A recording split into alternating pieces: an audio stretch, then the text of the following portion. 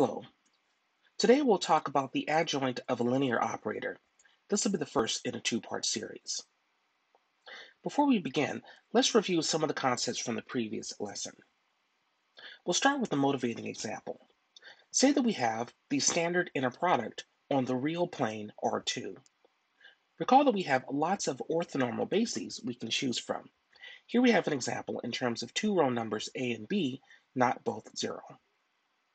We've seen before that we can express any vector, lowercase v, as a linear combination of elements from the spaces. In particular, we can write any vector in terms of the inner product of v and u1 times the vector u1 plus the inner product of v and u2 times the vector u2. Well, let's denote v perp as the first part, the inner product of v and u1 times the vector u1. You see this here to the left of your screen. Similarly, we can consider v parallel, which we define as the scalar, the inner product v times v and u2 times the vector u sub 2. This is on the right-hand part of your screen. There is a rather simple geometric interpretation of all of this. To explain what it is, let's let w be the line spanned by the vector u1. This is just the line ax plus by equals 0. We can also consider the perpendicular line W perp, that is the line W rotated by 90 degrees. This is just the set of points xy such that bx minus ay equals 0. We can use this to define a linear transformation that's just projection on to this line.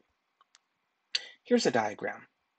We'll have our vector v, which is the blue line, and we'd like to project on to the line w, which is the solid black line you see towards the bottom of this diagram. If v is the blue point, the blue vector, then periwinkle is v parallel. Again, this will be the projection onto the line w. Red will denote v perp. This will be everything that's at 90 degrees to our line w. We'll observe that with this projection map, the image is just the line w, while the null space is the orthogonal complement W perp. In fact, we can put all of this together to see that the length of the red arrow is just the closest that a point V can get to this line AX plus BY equals zero. We use all of this to make a definition. Say that V is a vector space either over the real numbers or the complex numbers, and let's fix an inner product. Given a subset S of V, we define this orthogonal complement as a set of vectors in V such that the inner product of x and y is 0 for all y in the subset S. We denote this set here in terms of this symbol and read it as S perp for S perpendicular. We have a few results. Let's say that W is a finite dimensional subspace of our vector space V then W perp is a subspace of V. The intersection of W and W perp just consists of one point, namely the origin.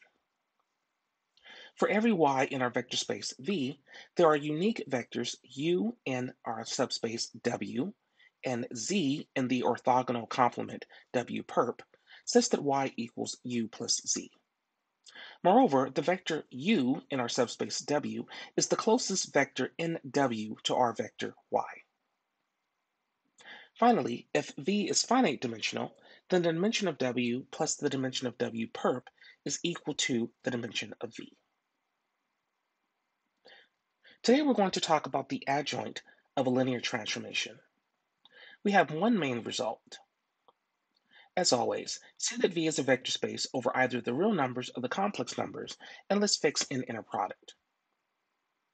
For every vector y in V, let's let G be that map that takes a vector x to the inner product of x and y. Then G is a linear transformation. Conversely, let's say that G is a linear transformation from V to our field F then there exists a unique y in our vector space V since the g of x is equal to the inner product of x and y for every x in the domain V. Second, let T be a linear transformation from V to V. then there exists a unique linear transformation, t superscript star from v to v, such that the inner product of t of x and y is equal to the inner product of x and t star of y for all x and y in v. There's a couple of different ways to think of what this proposition says. The first part states that linear transformations from v to the scalars f are in one-to-one correspondence with vectors in v. Second, let's let t be any linear transformation. Then the linear transformation from the second part of the theorem is called the adjoint of t. The funny symbol expressed in the theorem is read as t star. Let's give an example of what's going on here. Say that v is C2, and let's consider the standard inner product, defined as you see here on your screen. Let's consider a linear transformation t from v to v, defined as follows. t is simply multiplication by some 2 by 2 matrix A, B, C, D. Now we can consider the inner product of tx and y. You can see here that we can move around the parentheses a little bit so that instead of writing everything as something times y1 conjugate plus something times y2 conjugate, we can express this as x1 times something plus x2 times something. The idea is that we've pulled out x1 and x2 and we have some terms left over. This will help to motivate where the adjoint is coming from. Similarly, let's say that we have a linear transformation u from v to v, defined as you see here on your screen.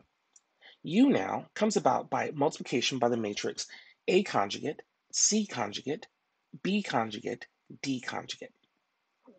Again, we can consider the inner product of x and u of y. Notice that we can write this as x times something plus x2 times something. Putting all of this together, we see that the adjoint of t is what we're calling here our linear transformation u. Again, the idea is that we could kind of write everything in terms of x1 and x2, and seeing what's left over allows us to figure out what the adjoint is. In particular, we can really see how this works out with matrices. The adjoint of the matrix A, B, C, D here is what we've defined as the adjoint of a matrix before. It is the transpose of the complex conjugate of the matrix. This we'll come back to and discuss a bit more in the next lesson. Let's discuss the proof of this theorem. We'll start by showing the first statement. First, let's fix a vector y in our vector space V, and let's define a map G from the vector space to the scalars by g of x equals the inner product of x with y. We'd like to show that this G is a linear transformation. We'll show that G preserves linear combinations. To this end, let's say that x is a linear combination of vectors xi and v. Then, by definition, g of x is the inner product of x with y, now we'll substitute in x is our linear combination of the x sub i's. But the inner product is linear, so we can write this as a sum of inner products xi with y. But by definition, the inner product of xi with y is g of xi. So now we see that g of x is a linear combination of the g of xi's, so by definition, g is indeed a linear transformation. Conversely, let's say that G going from our vector space V to the scalars F is a linear transformation. We're going to show that there exists a unique vector Y such that G of X is the inner product of X with Y. Uniqueness means that we have to show two parts. First, there is at least one Y, and second, there is at most one Y. Let's first show that there exists at least one such Y. Let's fix an orthonormal basis beta for v. Then we know that we can express x as a linear combination of elements in this basis, but in particular, the scalars of such linear combination can be expressed explicitly in terms of inner products. With this in mind, let's choose y as the sum of is the linear combination of the u sub j's but the scalars now will choose to be the complex conjugate of g of u sub j. Putting this together, let's consider the difference of the inner product of x with y and g of x. First, we'll substitute in the expression we have above for x. This allows us to have now a difference of various sums. Second, we'll substitute in our expression for y. Once we have both of these, we now observe that the inner product of ui and uj is either 0 or 1, so this simplifies into a sum minus a similar sum, but of course these cancel to 0, thereby showing that g of x does indeed equal to the inner product of x with y. Let's now talk about the other direction. Why does there exist at most one such y? Well, let's say that perhaps there are two. That is, let's say that g of x equals the inner product of x and y, and maybe equals the inner product of x and y prime for two different y and y prime. Let's now choose x to be y minus y prime. Again, this expression holds for all x, so we'll choose one specific x here.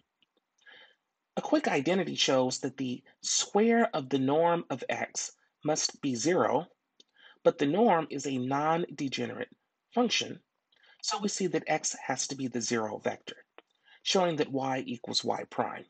That is, there is at most one such y. Now let's show the second statement. We need to actually explain where the adjoint is coming from. Let's define t star by the relations you see here on your screen. That is, for all x and y and v, we'll define t star as that function such that the inner product of t of x and y is equal to the inner product of x and t star of y. First, let's show that T star is well defined. Let's fix any y in our vector space V. We know that the map G going from our vector space V to the scalars f, defined by g of x in terms of the inner product of t of x and y, is a linear transformation. Here's why. Let's say that x is a linear combination of some x sub i's. Then g of x is t of x and y, but now we'll substitute in x as a linear combination of the x sub i's. We realize that t is a linear combination, so this is a sum of the t of x sub i's. But the inner product is linear, so this is a sum of the inner product of the t of x sub i's and y. But these inner products are just equal to the g of x of i's. So we see that g of x is a linear combination of the g of x sub i's. That is, G takes linear combinations to linear combinations, so it must be a linear transformation. Our previous result says that if we have a linear transformation from V to the scalars f, then there must exist a unique z such that g of x is equal to the inner product of x and z. This is the proposition we just proved. We'll define t star of y as this vector z. Then, from the way that we've set up our notation, the inner product of t of x and y is equal to the inner product of x and z, which of course is equal to the inner product of x and t star of y. Now we have to show that our t star, our adjoint, is indeed a linear transformation. Let's now say that y is a linear combination of some y sub i's. Let's consider a map G sub i defined by g sub i of x is equal to the inner product of t of x and y sub i. As we just worked out, g sub i is a linear transformation, so there exists a unique z sub i such that g sub i of x is equal to the inner product of x and z sub i. Now let's consider the linear, the inner product of x and t star of y. Well, here we know from the way that we've set up our notation, this is equal to the inner product of t of x and y. Now we'll substitute in y is a linear combination of the y sub i's. We see now that we have a linear combination of the x and zi, the inner product of x and zi, but we can express this by looking at the inner product of x and a sum of the z sub i's. Now, remember that the z sub i's are just t star of y sub i's. This is the way that we define t star of y sub i's. So if we stare at this, we now see that we have an inner product of x and a sum of t star of y sub i's. Of course, we really would like to prove that t star of y is equal to the sum of the t star of y sub i's. That would show that t star preserves linear combinations. To this end, let's denote x as the difference of these two. That is t star of y minus this sum of the t star of y sub i's. Since the expression above in terms of the inner products holds for all x, we'll choose this specific x. Then it's easy to see that the square of the norm of this vector x must be zero. And since our norm is non-degenerate, we see that x here must be the zero vector. That is, t star of y must be a linear combination of the t star of yi's, showing that t star is indeed a linear transformation. And this completes the proof. Thanks very much for watching.